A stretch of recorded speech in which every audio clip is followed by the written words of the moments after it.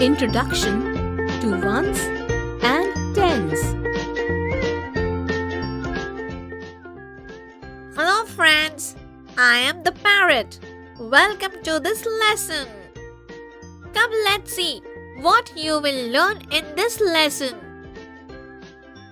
What are ones and tens? And how to write numbers in the form of ones and tens. Chotu and his mother went to the market today to get vegetables.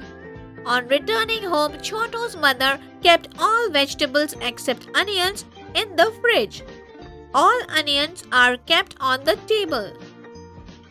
Mummy, you asked the vegetable vendor to give 1 kg onions. How many onions did you get? Can you count and tell me how many onions did we buy? Yes, Mummy, I will tell you now. Wait, count the number of onions by making a bundle of 10 each. For this, first make one bundle of 10 onions. Okay, Mummy. One, two, three, four, five, six, seven, eight, nine, and 10. Take this, mother. This is a bundle of 10 onions. Very good, Chotu. Now, how many more onions are there? There is one more onion, mummy. So, this is one bundle of 10 onions, which has 10 onions. And this is one more onion. So, in total, how many onions do we have, Chotu? 10 and 1. That means we have 11 onions, isn't it, mummy? Yes, Chotu. Do you know that how else can we write 11? No, mummy. How do we write it? Come on, let me explain it to you. When we make a group of 10 things, then this group is called tens.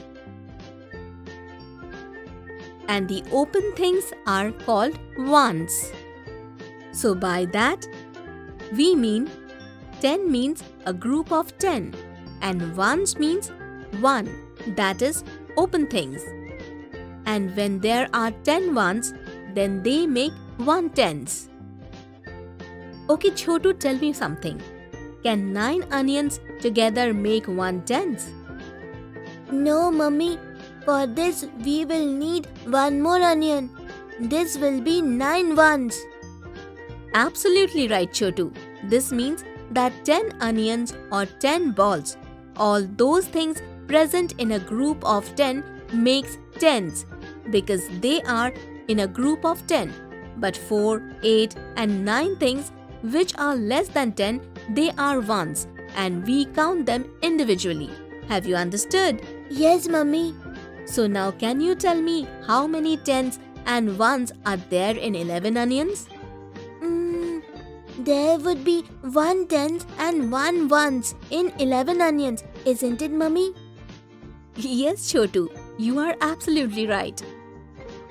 So, children, do you know that when we write numbers in ones and tens, then we call them as place value of the numbers?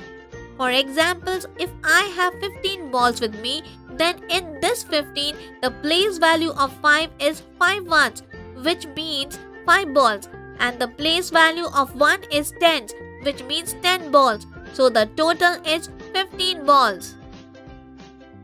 So children, that's all for today. In this video, we learned what are tens and ones and how to write numbers in the form of tens and ones. In the next video, we will look at some more interesting examples of tens and ones. Till then, bye friends!